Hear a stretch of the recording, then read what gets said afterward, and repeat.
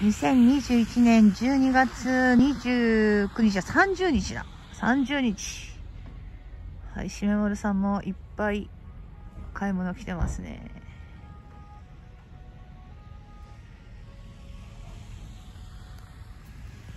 はい。えー、私もですね、買い物に行くことにしました。はい。またバスに乗ってね、えー、循環バスに乗って買い物行くんですけども、多分、こういう皆さんは食材ね、えー、食材を買いに行かれると思いますけども、私は防災のものを買いに行きたいと思います。えっ、ー、と、門別の良さはね、あの、本当もう多分お店とかも今日あたりから飲み屋さん街とか閉まってるのかな。あの、ちゃんとね、家族で、えー、年末、年始を迎えるっていうところは、とても、あの、いいところだと思います。初めて門別で冬越すときに31日の日、カウントダウンで、よし、カウントダウン飲み行こうと思って、あの、浜那須通りって飲み屋さん行ったらね、物の意味ことに全部閉まってて、うわーみたいな、そんな思いもありました。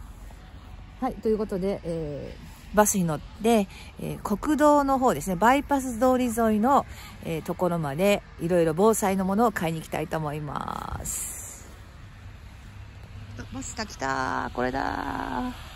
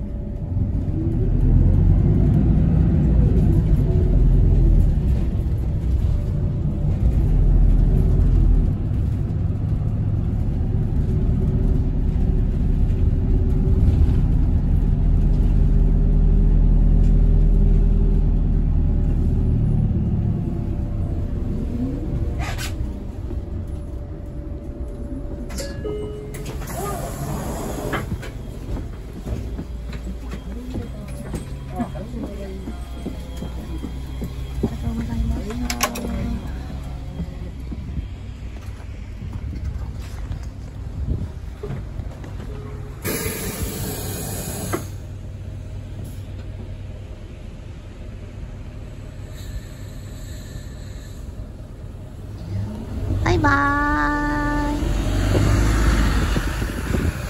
はい、循環バスで、また来ました。おお、いっぱい駐車場。